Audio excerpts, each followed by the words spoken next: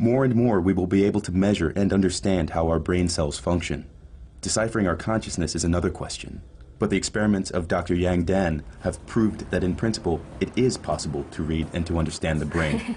I didn't know that we started this thing again. So, so this is a digitized movie. Um, we present this to the animal and we record the activity of the, their visual neurons. And these electrical signals that we recorded from will travel through these cables. She managed to tap the vision from the brain of a cat and to reconstruct what the cat sees onto a computer screen. So this is a digitized movie. Um, this particular movie is a short clip from Indiana Jones, I think. Here we see the two images next to each other. On the left, the image that was shown to the cat.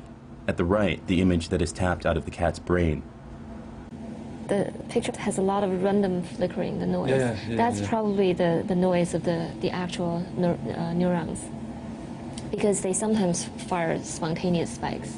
We consider those noise, but maybe they reflect something else, maybe the, the thoughts or, or something. But we can distinguish that. So when we use all of those, thinking that they represent visual information, this is the reconstruction that we come up with. It is the first time an image was tapped from a brain. It proves that we can read and understand the grammar of it. The face is recognizable, but I still can't avoid the impression that the face has something cat-like.